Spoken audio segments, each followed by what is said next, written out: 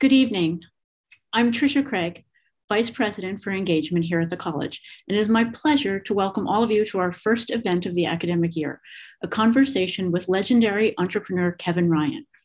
In addition to everyone on campus, I'm especially pleased to see parents, the wider public in Singapore, and I want to extend a special welcome to entrepreneurs from the Endeavor Network, as well as alumni from both Yale and INSEAD from across Asia who are here with us tonight to hear our fellow alum.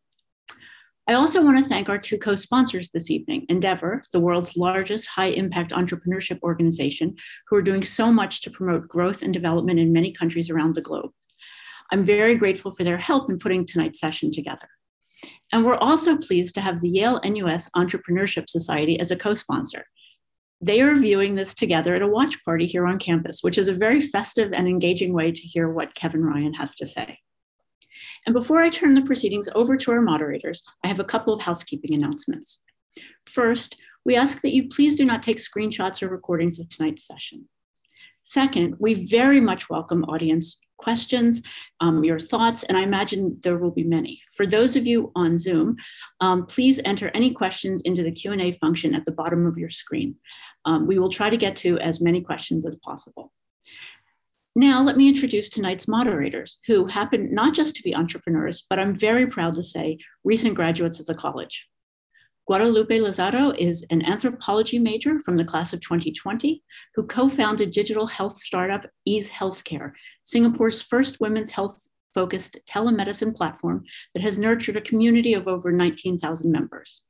And Daniel Ong, a law and liberal arts grad who is called to the bar today from 2019, is a former Schwarzman scholar who co founded Just Ship, a Singapore based international shipping service.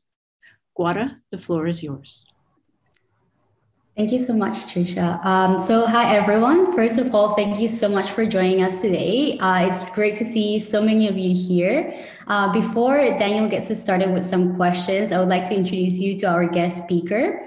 We're fortunate to have Kevin Ryan with us today, who is a Yale alumnus and an MBA graduate from INSEAD and is the founder and CEO of AlleyCorp, an incubator and venture capital fund responsible for transformative companies like MongoDB, Business Insider, Gilt, Zola, Nomad Health, and Coedition, among others. Aside from his professional responsibilities, Kevin serves and has served through his career and on the board of several institutions and organizations such as Yale, INSEAD, Human Rights Watch, Doctors Without Borders, Endeavor, among others. He's an entrepreneur and investor with several years of experience, and we're so excited to have a chance to learn from him today. Kevin, thank you so much for taking the time to be here with us. It's uh, really an honor. Mm, happy to be here. Kevin, I have the privilege of kicking off this conversation today. Um, as you know, Yale NUS was founded by Yale University, your alma mater, and the National University of Singapore as the first liberal arts college in Singapore. Can I ask you to reflect a bit on your experiences um, at Yale and what influence you think having a liberal arts education has had on your professional path and on entrepreneurship? Yeah. Well, first of all, I'm very happy to be here. Um, this session brings a couple of things that are fundamental to my life, which is really entrepreneurship, education, Yale, uh, and even Endeavor. So I think I've uh, touched all sides of this. Um, so I went to Yale as the first person in my high school in a small town in Ohio uh, who had ever been to, or at least in the last 10 or 15 years, to Harvard, Yale, or Princeton. It was just not a thing that people did. Um, I had an incredible experience. It was definitely life changing for me. It sort of upped my game uh, intellectually, the people, the experiences, international, and it really did set me on a path my entire life of you know business, intellectual interest, success, things like that. So many things that I've been involved with, I can date back to things I did at Yale. Uh, my introduction to business was through uh, participating in the Yale College Student Investment Group. My introduction to politics was I ran the Liberal Party, which was the uh, Democratic Party of the political union at that time, and I've been very involved ever since. Uh, so, great experience for me. Uh, two of my kids uh, went to Yale, and then I was on the board of Yale for six years, from 2012 to 2018, and I was on the international committee before that. So, I was, at every level, I was, you know, somewhat involved in the uh, in the Singapore process, and I had gone through that because INSEAD had set up a Singapore campus um, probably 15, 20 years ago. And I was on the board of, uh, of INSEAD for a good part of that as well.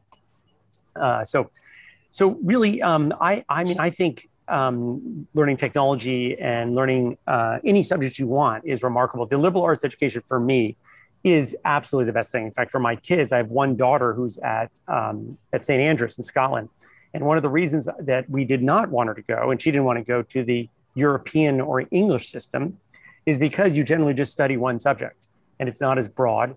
And so I'm a huge fan of taking multiple subjects. The English system, the U.S. system is actually based on the Scottish system, which not everyone knows, and so uh, Scotland has a different system than than England. Um, so I know so many people, and I'm sure people on this call who went to college to Yale or, or anywhere and planned on majoring in one thing and ended up majoring in something else. Uh, that's an experience you should find out before it's too late. Mm-hmm. Um, so I think what's most important to me, and I think uh, I actually I said this at a Yale board meeting, which was was not made public, but I said that I thought the Yale NUS project was possibly the most significant thing Yale has done in the last quarter century is a pretty strong thing to say, but I think it is. I think it has been beneficial for all the students. I think it's beneficial for Asian education. You know, it really was one of the first examples of liberal education. I mean, there were many good schools before that, but not necessarily with this approach. And I think there have been other schools that are starting to incorporate it, to copy it.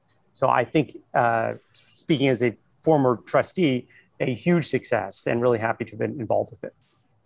Thank you so much for your support uh, for Yale NUS. It's really great to, to hear that. Um, can I just pick your brains a little bit mm-hmm. more on liberal arts and entrepreneurship? Like, mm-hmm. how how has that? Um, how, I mean, especially for those liberal arts graduates or students right now in the audience, right? Um, how can they best reap their liberal arts experience if mm-hmm. they plan to pursue entrepreneurship? Yeah, look, eighty percent of you know starting a company is understanding people, understanding a market, you know, understanding uh, how to manage people, recruit people, communicate. You know, what you don't realize when you become CEO is you become a traveling salesperson. No one thinks they mm-hmm. want to be a salesperson, but you're selling, you know, because you're trying to recruit someone. So you're selling the company to them. You're literally selling because you're trying to bring revenues in. You're selling a part of the company because you're in, you're talking to investors. So all day long, you are pitching, communicating. That's what you're doing as CEO. Now, I do think that if I were back in college, getting more technical skills and having exposure to computer science, um, exploring, expo- exposure to health related topics is, mm. is very important. That's one thing I would have done more of. It doesn't mean you necessarily have to major in that, but you have to come out these days feeling comfortable in a world of technology. Because even if you think you're going into a field, you know, that we, I started a company in meth addiction, you don't think that's technology, but we are using technology, we're using systems, we're using digital therapeutics to solve the problem. And so you'll see in the legal world, in every single world, technology is a part of what you need to learn, uh, but you don't necessarily need to, to major in it. Um, so I think it's the broad skills it's, uh, that are important. And that's the reason that, you know, the, the, you look at the entrepreneurs who come out of and lead the largest companies in the United States, most of them had a broad liberal arts education coming out of a top school. Mm. Yeah, I guess I'm interested to hear a little bit about. Uh, you were talking about how entrepreneurship is about, you know, the people you choose to work with, the teams that you build. So I guess when you think back to your earliest so, sort of endeavors, can you tell us a little bit more about what the process of building those were, was like? Uh, building the teams, finding the right people, you know, managing the stress of a startup, uh, finding funding. Like, if you could walk us a little bit through that journey. Yeah. So my first experience was a quite extraordinary experience. It was in 1996 and I was 32 or 33, and I joined a 10 person company called DoubleClick. And DoubleClick today is a huge, it dominates the ad technology world. It's a part of Google. Um, and so I joined there, and four years later, we had 2,000 employees and offices in 25 countries. We had also gone public only 24 months after we started, which you can basically not even do anymore. Um, and so if you think of the challenge of going from 10 to 2000 in four years, you know, at the peak, I had 27 full-time in-house recruiters because this was a enormous military operation to be able to to subdivide to and to do this. The other thing we had to do was convince people that internet advertising was going to work. Let's not forget in 1995 there was almost zero internet advertising, and so we're starting a company that is that is you know providing the infrastructure for something that doesn't exist. It's like building the mm-hmm. highway system, but there are no cars right now, and so you can imagine that's a little bit of a sell. So I was evangelizing the entire time for those four years. to try and convince people that this was going to work. And luckily, you know, it went from zero to three billion in ad spend during those four years, and today is probably 60 billion. So that original vision uh, has come true. And so, uh, really, I spent those four years very operationally, um, you know, just building, hiring, making mistakes along the way. I bought I bought companies that didn't work out. I hired some people that didn't work out. But you just have to think of yourself as a professional athlete.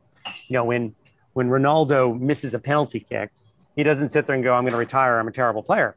He just thinks, "You know what? I'm better than most people. I'm going to miss some once in a while, but I hit a lot of them, and so I'm just not going to lose any confidence." And so you've you know, being an entrepreneur means you're going to have to take failure. Uh, it may be a failure of a company, it may be failure of individual projects, but basically things are going to go wrong. You've got to endure that. And that's what makes it exciting. You know, if you go join an enormous company with 500,000 employees, what you do doesn't matter that much. And you know it. You may have a good experience, but it just doesn't mm-hmm. matter that much. Whereas here, it really, it really does. Yeah, absolutely. And I guess I wonder, like building such large teams, like how do you build the right team culture as well, right? Like things can get out of hand pretty quickly, especially with such high growth.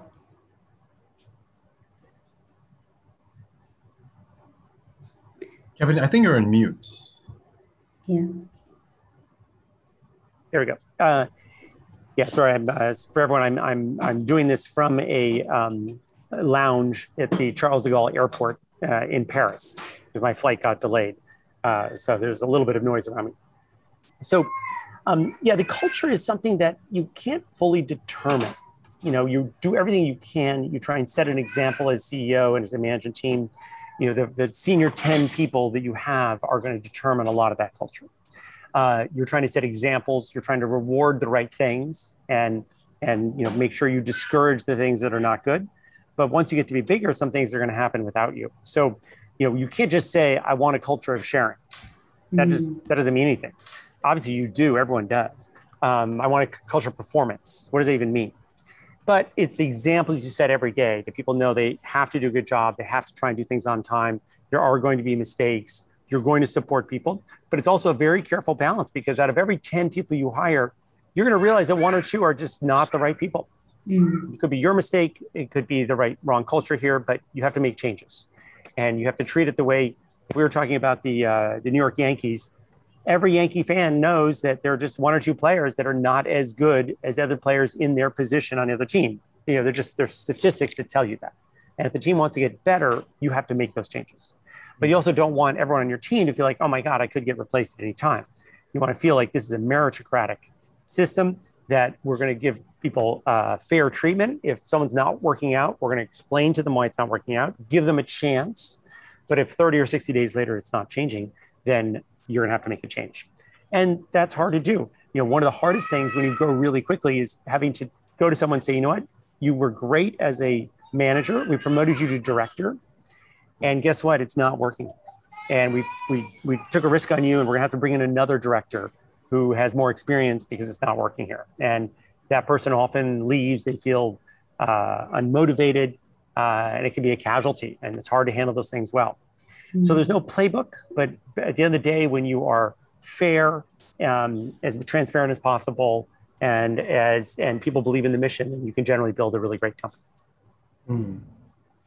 Kevin, can I explore more about what you alluded to a bit um, when you were sharing about DoubleClick just now um, about growing and scaling company? I think it's incredible that you grew a company like that in four years. Um, and and this, of course, is what our co-sponsor Endeavor also does, right? Um, high impact entrepreneurship, where scale yep. ups lead to growth and job creation, which I which you shared earlier that you are part of. Um, yep. Based on your experience, whether with Endeavor or in VC or your own personal um, um, startups, what what makes companies good candidates for growth? Growth, and what are pitfalls that companies should try to avoid? Yeah, well, so the good candidates for growth are the ones that are, I mean, in a market that they're getting feedback where they say, you know what? Um, basically, at the end of the day, I remind people business is business. So you're trying to put $1 in, which means you're spending it generally on people, sometimes on computers, and you're trying to get $3 out. And you know, if that's happening, you're doing something great. Now, sometimes it takes two years, three years, four years, five years for that to come out, but ultimately that has to be happening. If that is happening, then you need to pour on more resources. And so another candidate for growth is is there something where more growth is helpful? Growth is good in and of itself, obviously, if it's if it's good return on equity. But sometimes, like at DoubleClick, the reason DoubleClick today is the number one ad tech company in the world is because of those four years. My competitors couldn't keep up. They weren't in 25 countries. And so when Procter & Gamble needed to make a decision, they wanted a company that had presence in, in 25 countries, not in six countries. And so then they said, well, we're going to go with DoubleClick." And then 10 other companies were like, "Well, if Procter & Gamble and Microsoft are going to DoubleClick, then we should probably do the same thing." And so we had, you know, the largest share of market in 2000 and and the company has never given it up today, even though it's 25 years late, 20 years late. Um, now you also need to be able to finance this. So all great companies lose a tremendous amount of money, and you have to think of a company the way you do a building. If you're building a building from scratch, and it, let's say it takes four years to get through the architect drawings and then the construction and everything. And if I said to you after two years, so are you making money yet? You'd say, well, that's absurd. My building's not finished yet. Of course, I'm not making money. That's that you don't understand about real estate. I will start making money when my building or my hotel is open. And until then, I'm just going to lose, you know, $200 million where I build this, this huge building. Companies are the same way. You know, mm. Mongo, which I started 14 years ago, has never had a profitable quarter. 14 years in, it's today worth $25 billion. And so very smart investors, been public for four years, have looked at that and said, you know, we believe that the investments you're making, because uh, it's still growing at 40% a year, um, the investments you're making are great. And uh, this is going to be an enormously profitable company. And so we're going to keep funding that and supporting that. And they also see that our margins are getting better and better. Um, so you've got to be able to sell that to people. Without money, you can't expand. But in general, it starts with a good, a big market, a ability to uh, create a product that people want, great execution, so people are willing to reward you. If your first three countries don't work, there's no reason going to 10. Um, and then great execution and a little bit of luck. Mm. Mm. Kevin, th- thanks for that. That was, that was really enlightening. Uh, I wanted to ask a bit more about your thoughts on financing. I think this is also, I guess, uh, a question that is something I ponder about a lot. Um, as, as an early stage entrepreneur, I'm just wondering what your thoughts are on bootstrapping versus you know early stage fundraising, right? When you're giving out mm-hmm. um, equity, usually at um, you know a, a, cheaper rate, right? And I think a more general question: What do investors look at uh, during the early different stages of fundraising? Yeah. So look, there's a trade-off, and this is there's no black and white answer. Obviously, not giving up part of the company is a good idea if you can grow very quickly. In general, I'm always in favor of raising outside money. Mm. Now, you only want to raise enough money that to take you to the next proof points. So you start a company today, let's say the market values it at 5 million. And so that's what it's worth. You raise a million dollars. The question you have to answer is if I spend a million dollars, which obviously you can't do bootstrapping uh, unless you have a million dollars lying around, um, will that make your company 20% more valuable? That's it. And generally, the answer is yes, that money going in is a good idea. And also, don't forget, it's a very competitive market. There are so many smart entrepreneurs out there. If you have a good idea, and I literally, I see your idea and I watch you for three months and you're bootstrapping. So you have like four people. I'm going to sit there and go, you know what? I can take these guys. I don't mind starting four months later. They've proven that there's a market there. I'm going to raise $2 million. Mm. I'm going to hire 20 people. I'm going to bury these people. It's the exact equivalent of if we were starting a marathon and I'm 57, and if you saw me 300 yards ahead of you at the beginning, are you going to be intimidated? You can be like, the dude's old. I'm going to catch him in the next 26 uh, miles. So it's not a problem at all for me. That's what I'm going to look at. And that's what everyone is doing. So time is never on your side as an entrepreneur, right? Someone is going to get out. If this is a good idea, other people are going to smell it. And so you've got to move quickly. So here's another way of looking at it. Name the 10, 10 the name of how many unicorns were bootstrapped. Zero. Mm, I think of one. So, yeah. so if you are bootstrapping for a long time, what you're telling me is you're not trying to build a huge company. And I would rather end up with 10% of a billion dollar company than 100% of something that's worth $20 million you got to go for it. And yet, by the way, mm-hmm. another thing that's true is that money is so available today. We are in a golden mm-hmm. age of capital. So in some ways, it's it's cheaper and uh, to to raise money now than it ever has been. So you should get out there and do it. And what do companies, what do VCs look for? In it changes on the stage. In the very beginning, they're really people and idea. That's all you. That's all you have. You have three people. You've done a little bit of work. You haven't proven that much yet.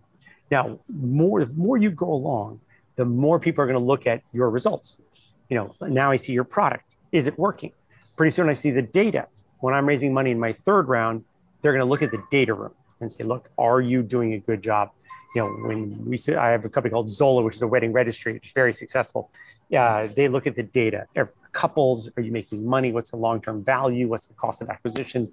It becomes much more data intensive at that point, and your charm becomes less important because they can see the results. Mm. Yeah, absolutely. I guess. Oh, sorry. uh, I guess I'm interested to hear a little bit. It seems from your volunteer and philanthropic uh, work that you have a very strong social commitment sort of to the world. Um, from that work and your experience in business, could you tell us a little bit more about how can we build successful companies that are socially responsible as well?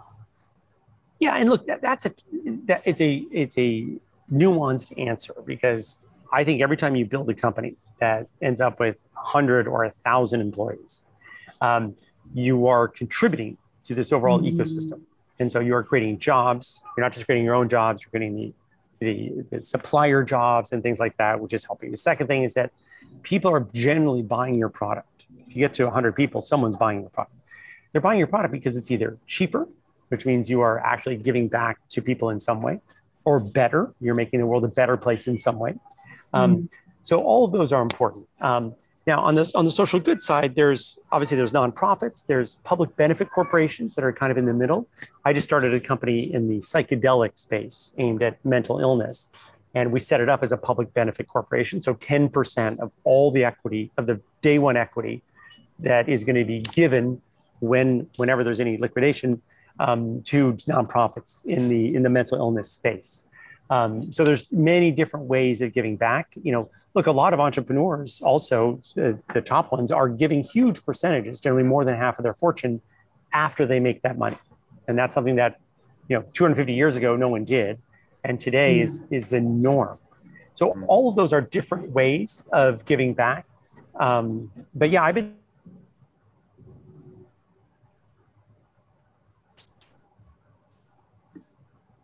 Oh, in the United States, in Singapore, all over the world. There's enormous problems, as we all know. Many things could be better, and we all need to play our role in helping. Thank you. Kevin, um, is your connection okay? Like, are you there? Okay. It, yeah, it's okay. From, it's going in and out, but it, it's, it's, I can hear you fine. Okay, great. Um, yeah, I just want to ask a question um, now based on um, COVID. Like now we see travel reopening, and I mean, you are in the airport, uh, people going back to work, more vaccines. And so to speak, we're kind of seeing the beginning of a post COVID world. Um, so, what do you think is important for companies transitioning out of COVID? And is the future of work changing? Yeah, so I think the the the change is overblown. And uh, you know what we saw in New York in March, people were like, "Oh my God, no one's going to come back. Uh, no one's going to go to a restaurant." And the moment restaurants were open, you cannot get a table in a restaurant in New York right now. It's impossible. So that's that's what post COVID looks like, which is everyone goes back and does the same things they're doing before. What will the changes be? There'll be a little bit less travel, uh, no question. Much used to be viewed badly if you didn't show up at a board meeting and and did it, you know, or on the phone. Now mm-hmm. that'll be uh, it's it's a great thing. I think business travel will be cut back by thirty percent. You know, conferences, things like that. Um, so I think that's that's that's one impact. I do think that we're going to have a more remote workforce. So uh, you know, Guadalupe, Argentina is a great example. You know, you really have to answer the question: Why pay an engineer in New York uh, one hundred twenty-five thousand yeah. when I can really get someone who's just as good um, in Argentina for whatever forty thousand? And so we're going to see a truly global workforce. You know, the, the technology infrastructure is going to become like the Premier League in soccer, where no one cares where you're from. Can you do the job? If you can score goals, anyone will hire you. Um, and that, that's a wonderful thing for talented technology oriented people around the world. So I think that will be um, that will have an impact as well. Having said all that, you know what you're seeing, people are going back to big cities. You know, they're not big in big cities because they have to be in the office every day with their coworkers. They're in big cities because when they're not in the office, they want to be at a great nightclub. They want to be at a great restaurant. They want to be see great ballet. They want to see professional basketball. They want to see things like that. So the draw of the city has not gone away. Mm. Mm. And I think that's really interesting, right? On, on the point of a remote workforce, I think companies will have, you know, truly international, diverse global communities, not unlike Yale NUS. Uh, Yep.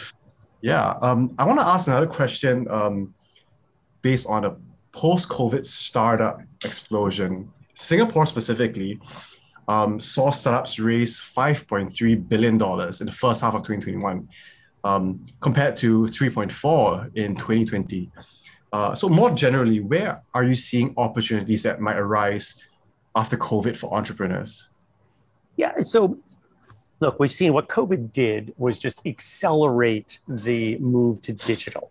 So, in every category, whether it's you know uh, remote uh, healthcare work, remote buying, people's you know grandparents who had never purchased groceries online had to, and now they're like, wow, this is great. I don't want to go to the store anymore. Um, uh, so every it jump started. We had five years of growth that happened in one year. Uh, online gaming, online news. So it, in a way, it didn't change anything dramatically. It just accelerated everything. Now, what's also been happening is you're just seeing this availability of capital, and since returns are higher in the startup world, um, startups are just bleeding the large companies. So the the Johnson and Johnson or the Procter and Gamble or these large companies, they're still doing okay. They're making money, but their growth has been hit. You know, uh, MongoDB, my database company, um, grows at 40% a year, and Oracle has been growing at, you know, I don't know, 2% a year. And so that would have been 4% a year or 6% a year if Mongo and other companies had not been taking market share from them. Mm. Uh, and that's happening everywhere. You know, let's not forget the capital drives a lot of these things. So why did we not have a single successful new car startup in 50 years? Since 1950, there's never been a successful car startup. Every brand you see was started, you know, before that. And then Tesla comes along. And the reason was that you couldn't raise $5 billion before break even to start a company. No one would give you that money. Now that they will, you know, anything is possible. Anything is possible. I, I'm invested in a company that's in the nuclear fission space that, you know, may, may take $10 billion, $20 billion um, to get to break even. And they think they can get it, you know, over time.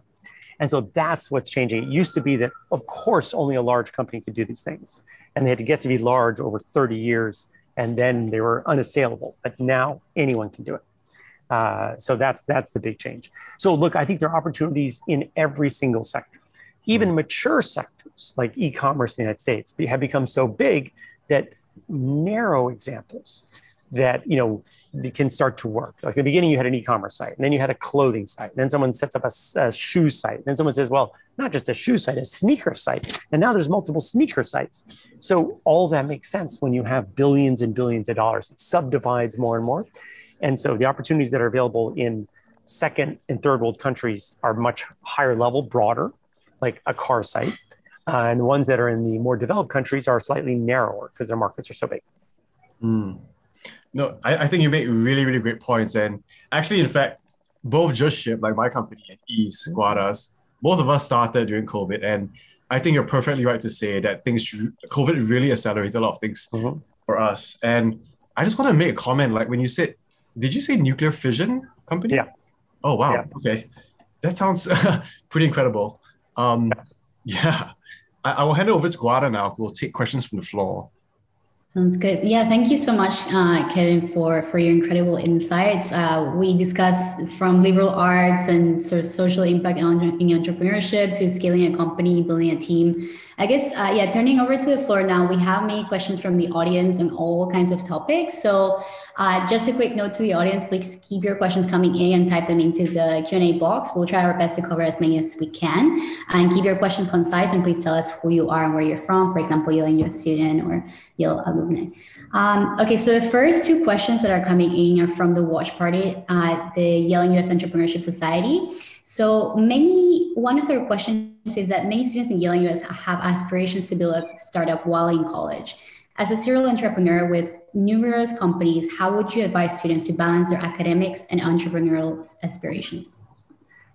Yeah, and I'll give you an answer that's different than you would expect, which is that you know the data shows that the vast majority of startups started by people in college or as they graduate don't work. Um, I, the the sweet spot of my sector is sort of 26 to 40 people who've gotten a couple years experience worked somewhere learned how to see things manage things learn some skills. Mm-hmm. um, so does it happen? Mark zuckerberg did it and but you can do it easily when you don't need to hire senior people who you know frankly it's hard to get a experienced person with 10 years experience to come work for you when you're 21 which is hard. At 26 it becomes a little bit easier. So I don't completely discourage it, but um, you just got to be careful and, and knowledgeable of that. I actually think for most people, the best path is to go join a startup, a successful startup, one that's maybe 30 to 300 people that has raised money, it's on its way, that's growing new opportunities. So you're it's small enough that you can see the CEO, you see the CFO, you watch what's happening, you know what's there. When I'm looking for a CEO to run one of our companies, what I want is someone who is a senior exec in a startup. They don't have to have ever been a CEO before, but I want them to have been close to it and have seen what's happened and then I can make they can make the leap into being a CEO. But if you're doing it during college, it can be a great experience. And some people, even if it doesn't work, feel like they learned a tremendous amount and it helped them later on. The key is getting people. And so, you know, like if I said to you, uh, you're going to start a, a soccer team and you know a couple of people from your high school who play soccer so you're thinking of going pro. That's not going to work right? They're just not good enough to go pro. Mm-hmm. you know playing soccer is not the same thing as saying i'm one of the you know 100 best players in the world. And so in soccer we all know that that your friends just can't do that. Um, but in startups people are like oh yeah i've got a friend and i think he even studied some computer science so he'll be a great co-founder. But the question is is he really world class or she are they really that good? I'm not sure. And at the end of the day, what makes the difference is having people that are extraordinarily good at what they do. And that's what you have to be very selective about. And most that's people super. fail that. Sorry, go ahead. No, no, yeah, that's super interesting. Um, I guess you have a follow up question, which is uh, kind of tied to the previous one, which is uh, when you go from an idea to a company, what are the things that you look out for to move forward in a project? Um, so the building blocks of a company there's only three. They're idea, people, and money. Everything else is just a product of those things. So um, the most important thing when I, I start, uh, you know, I start generally four to six companies per year. So I have a whole team. Uh, we're going to greenlight two companies in the next two weeks. So we do this, and so we come up with an idea. We generally test the idea by spending a month doing a 50-page uh, PowerPoint presentation, which just allows us to flesh out our thoughts that's basically based on talking to potential customers. So I need to get a sense, you know, if you were a potential customer, would you be interested in this idea? And then we're trying to say, can we build a product? Because in the beginning, everything's about product. It's not about marketing, it's not anything else. Can we build a product? We have a vision for a product that is different from what is out there. If I just open up a Japanese restaurant across the street, it's not going to stand out. There are other Japanese restaurants. I've got to have something that is fundamentally different. It's got to be better food, better decor, and but not just a little bit better, but really better. And so that's what I'm trying. And sometimes you get it right, sometimes you get it wrong, but that's what I'm focused on. Then I need to build the team. And so that's the hardest part. Can I really get those superstars on the team mm-hmm. uh, there? Um, and at that point, it's just working together and implementing. And hopefully, six months later, we have a product. Um, I don't worry about finance. I mean, uh, finance person because I don't have any revenues. I don't worry about marketing because we haven't launched yet. I need a great product you know, Mongo, we did not do any marketing really, and no one paid us for the product for two years. We just had it out there because we needed the product to get better and better and better and hear feedback. So that's what's really important: getting your product out there quickly. Whatever you you had some good thoughts, but some of them are right, some of them are wrong. You learn very quickly, and then you refine and and move on. Uh, but life is about product in startups. It's not about, you know, when you're a private equity person, you can just, you know, uh, cut costs, not improve the product, and maybe you can do a good job at that. But that's not what we do. We have to create mm-hmm. great products. Kevin, um, just a question from Mike Hawk. Um, are Silicon Valley's best days behind it? what are the best up and coming cities for tech startups in the US and globally? Thank you. Yeah, so in general, I can always tell you the number one city for startups in your country. And that is basically the place where if I go interview the students coming out of the top 10 universities in your in your country, where where do they want to live? Mm-hmm. And where they want to live, that's where the startup center is going to be because we are disproportionately the product of top students from top universities who have the drive, have that special something, and get things done. And so, in the United States, where do they want to live? That group, the number one place they want to live in New York is is New York.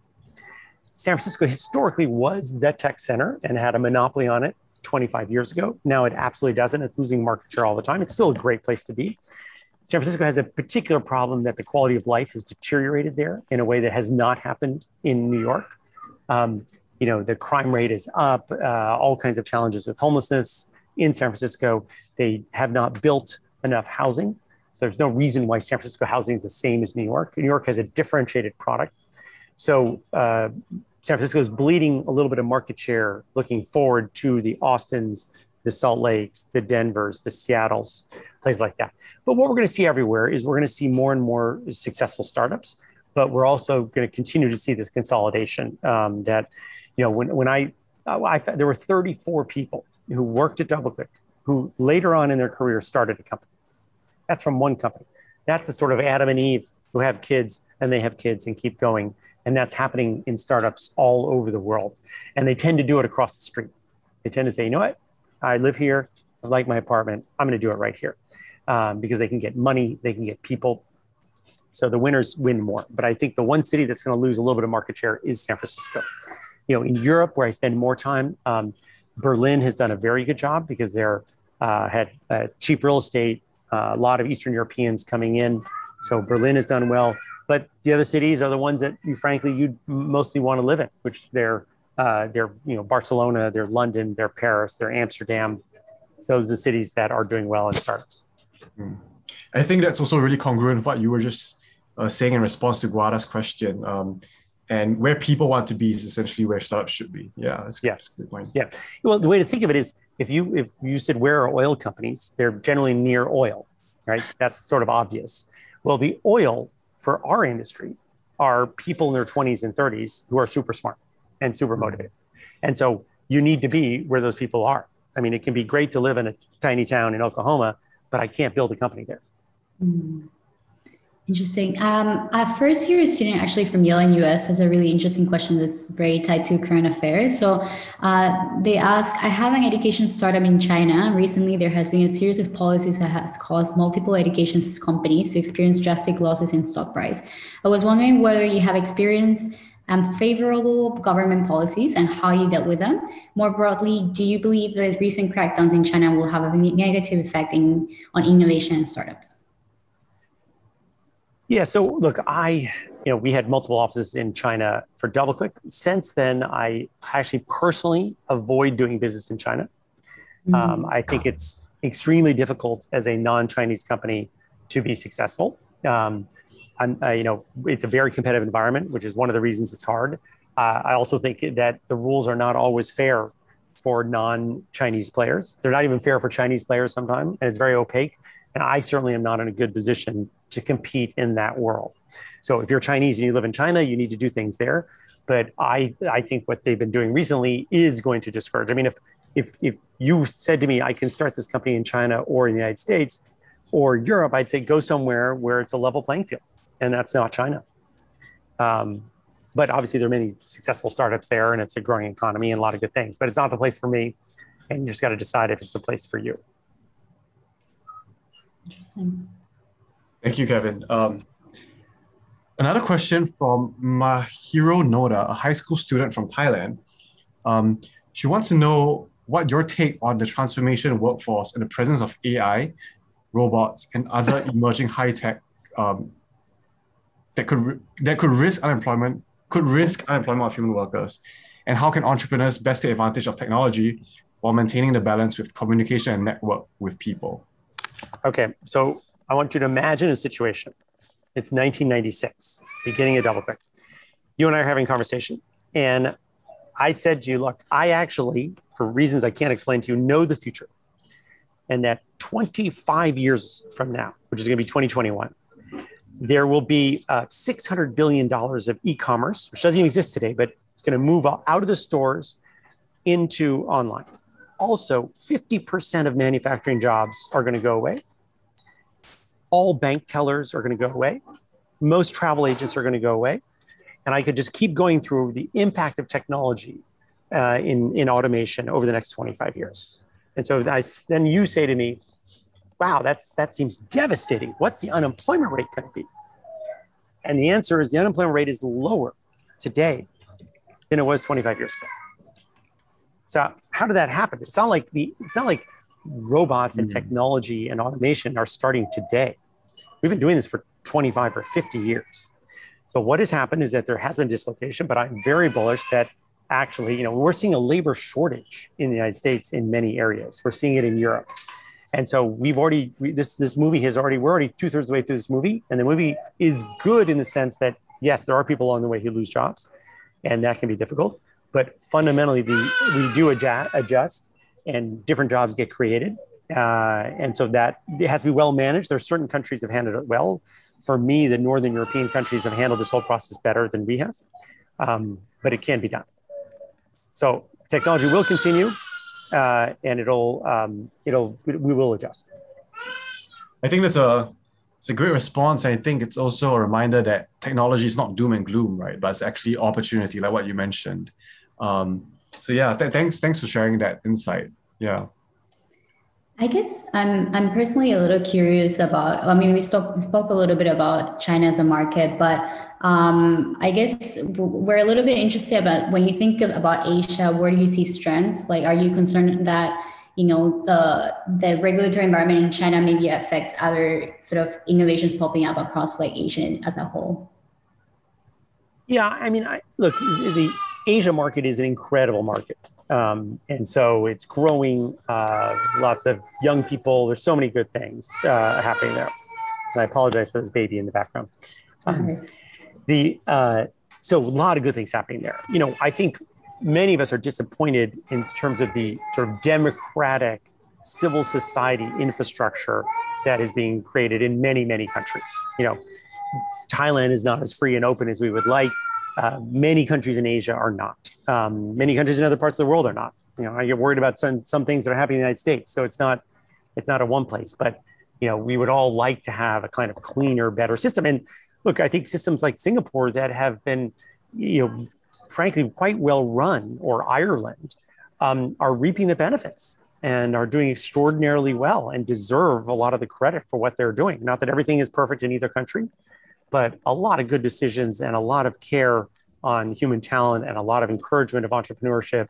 Um, a lot of a lot of great things happening there, and I don't see that same level in, in many other countries and many other countries in Asia. Thanks, Kevin. Uh, a question, another question from the floor from Rio Ho. Uh, his questions about talent, uh, especially for early stage startups. Uh, his question is: What advice would you give to startups in terms of overcoming the chicken egg challenge when it comes to talent and growth? Good talent is expensive, so start a small startup might find it hard to attract good talent. Yet, well, yet without good talent, it is difficult to build a great product and achieve great growth. Yeah, there's no black and white answer here because you absolutely have to have great talent. And great talent, in a way, is not expensive because, uh, you know, a good, what's different is in, in if, we're, if we're talking about accountants, a good accountant is a little bit better than an accountant that's not that good. A good engineer is 10 times as good as an engineer. You know, if you showed me a very difficult math problem, I, I, I could spend an infinite amount of time and I won't be able to answer it. Someone right next to me might be able to solve it in two minutes what's our relative value? He's literally infinitely better. Um, now, I don't have unlimited cash to give him or her. I have to give equity. So people have to believe in what we're doing. And so most people that most companies that can't attract good people, the core problem is that they actually can't get people to believe in the mission or the CEO. Because let's put it this way. If I came to you today and can absolutely convince you that my company is going to both has an incredible mission and is going to be worth a billion dollars, would you join? Of course you join. Yeah. of course you join. Mm-hmm. So if mm-hmm. you're not, what you're really saying is, I just don't quite believe. Now, it's never easy. It's hard to believe that something out of nowhere is going to be worth a billion dollars. But some CEOs are able to persuade amazing people to come join, take the risk, quit their job. Uh, that's what I had to do every day at DoubleClick was persuade people to take a salary that was half of what they were getting in a safe company and come join a startup. And sometimes I got them and sometimes I didn't. That's amazing. Yeah. Um, I think that's a struggle that a lot of uh, early st- um, stage startups are usually yeah. face. Mm-hmm. Um, so I, we have a question from from the audience. So Yang Sao asks, how does entrepreneurship in science and commercial entrepreneurship interact, or how to make it a positive sum game so that technologies and scientific advancement can be coordinated and benefit society? You know, look, the globally we can't do that much other than the governments like you know the us government and other governments do have grants that they can select where to go. But the rest of us you know the vast majority of technology is benefiting you know civilization. Mm-hmm. look every single thing that's happening in healthcare just about is tackling a problem that is trying to make things better. And in well-run countries you know life expectancy is good and things are getting better and we should be able to solve things. So i feel very good there in material science, in energy. I mean, let's let's not forget we've had remarkable leaps in energy in the last 10 years and 20 years. You know, the cost of solar has dropped by 90%. Um, so many good things are happening uh, there, and that's all due to academic work. You know, one of the things I remind people is that almost everything that's happening in the world in the last 50 years that has world, moved the world forward started on the campus of one of maybe a hundred worldwide universities.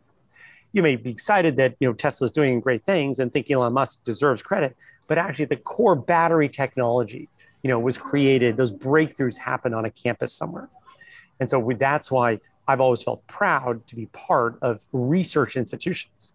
And it's very easy when you have 100 projects, a bunch of them don't work out, a bunch of studies, you know, fail completely, but there's no way to have breakthrough research without doing that. And I'll give you one more example that if this were 1880, we'd be talking about Heidelberg University, which was one of the leading institutions in the world that went to dis- send missions to South America to discover things. You know what? We don't hear about them anymore. What happened? They did not invest in the research and development that the US universities have done, and they lost their global position. And so that can happen if you don't make that investment and encourage it and think long term and take chances. And that's what's happening in many, many great institutions. And, um, and I think more and more of it's happening every day. Um, we need government funding and private funding to make that happen. And then we need private funding after that to take those ideas that are commercializable and change the world. And we're doing it every day. Mm. One of the things, by the way, I'm excited about is that if we were here 20 years ago, I would have said, and I, it would have been true, that frankly, very little, or 25 years ago, very little cutting edge research was occurring in China or anywhere in Asia, and only a limited amount in Europe.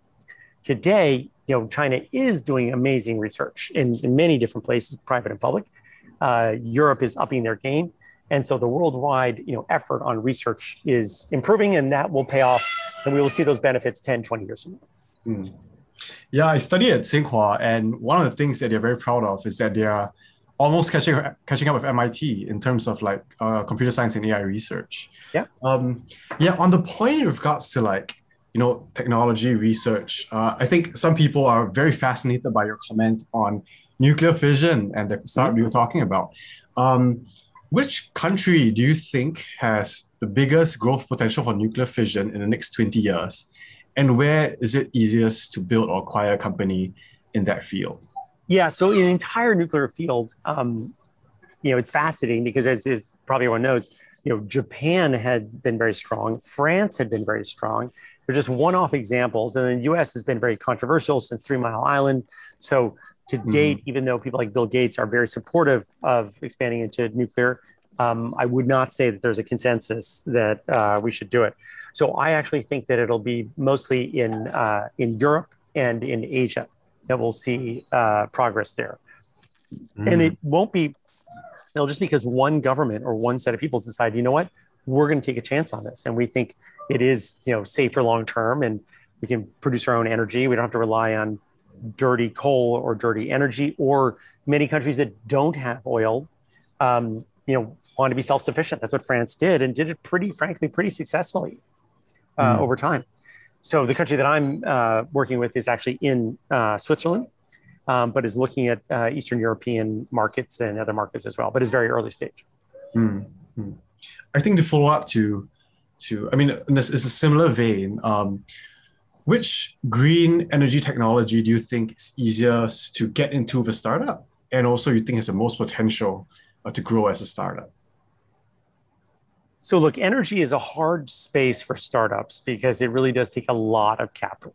Mm. And so, you know, it is hard for a 21 year old to, to do that. Um, you know, you're really going to have to have a science based uh, breakthrough. But, you know, I, we're still seeing uh, great progress in solar, we're seeing great progress in wind. The breakthrough we need is battery technology. You know, we still have this problem of storing energy uh, in various places, but making progress in iron air batteries. So I'm actually very, very uh, bullish that we are finally tackling this problem. I thought we were going to need carbon pricing to do it. Uh, we're not getting carbon pricing in most places, but the market is actually solving the problem. You know, what we do see in general is that there are all kinds of problems with the, the capitalist system, but when you put a large reward in front of a lot of people, you know, there's no better system in solving it. And so right now, a lot of the smartest people on this planet are tackling this problem and they're going to make a tremendous amount of progress. We're going to be, we're, you know, one final thing I'd say is that if this were 1990, it's very easy for most people on the call to forget that we would be talking about two things. One is that the world is going to run out of food. That was a somewhat generally accepted risk that, you know, was in the future and that we're going to run out of oil. You know, just at some point you had to run out of both. And both of those were completely wrong you know, there's not even any conversation about that. We're never going to run out of either one because uh, technology has solved it on both uh, on both cases. Today, you know, what we're we're you know worried about is uh, climate change, and I think we're going to solve it. Um, but unfortunately, it may take longer than we think, um, and so I'm nervous about that. Um, because we don't, if we were, if we're, if the private sector could had the incentives to solve it, it would. But so far, those incentives have not been put into place you know, if we had a carbon tax and we doubled or tripled the cost of energy right now for everyone, then the private sector would solve this very, very quickly. Hmm. That's super interesting. Um, I guess one, two last questions so that we can start wrapping up. Some some viewers would like to hear a little bit about like some personal reflection. So, mm-hmm. uh, Shanshan Chang asks, um, entrepreneurship needs dedication and hard work. How do you balance career and family? And Anil Kumar asks, what motivates you today at this stage in your life? Yeah. Oh, okay. Don't worry, he'll be back. France says great airport Wi-Fi. It's a nice uh, question Ronald- to end with. Uh, yeah, if you ask Kevin, Ronaldo or Amit, sorry. Sorry, I think your Wi-Fi got disconnected for a little oh. bit. So okay. Yeah. I was just saying that um, I, I keep doing this because I enjoy it. It's like asking, why does Ronaldo still play soccer? You know, he has enough money to retire. And he would say, wait a second, I love playing soccer. I'm not actually playing it for the money, even if they do pay me. Um, so that's one thing. On the second thing, I actually have always had a good balance. And so I have always a uh, lot of focus on family, spending time with my kids, um, staying in shape. And I had to cut back other things when I was running a company. I had to cut back on cultural activities, watching sports, things I enjoyed, even spending time with friends. That was cut, wasn't eliminated, but it was cut back. And there are different phases. Now I'm, I'm, you know, older. My kids are in college. Um, I can spend more time uh, both working, traveling, intellectual, athletics, going to Burning Man every year, you know, doing, uh, you know, super fun things. Uh, so there are different phases in life. The key is I tell people you can't do everything, but you, you can you can do anything, but you can't do everything. Mm-hmm. And so you've just got to have discipline, just like you need it in college. You know, you can't be on four sports teams, run three organizations, and get straight A's. It's just not a possibility. You have to choose and don't spread it thinly. Be strong in three areas and feel good about that.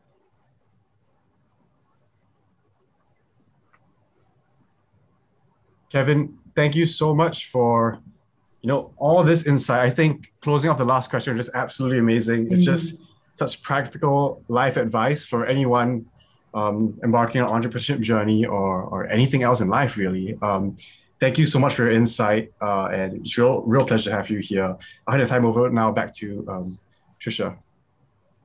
Um, Thank you. Um, I want to thank so. I really want to thank um, Kevin Ryan for being here with us tonight, um, for our two moderators, and the incredible um, conversation that we've had. Um, I do want to remind everyone that um, we hope to see you again coming up on uh, September 22nd. We have our next uh, event on uh, U.S. China relations. This is part of an, an, a new and ongoing series. Uh, on October 7th, we will have a discussion on um, global mental health challenges in the post COVID world.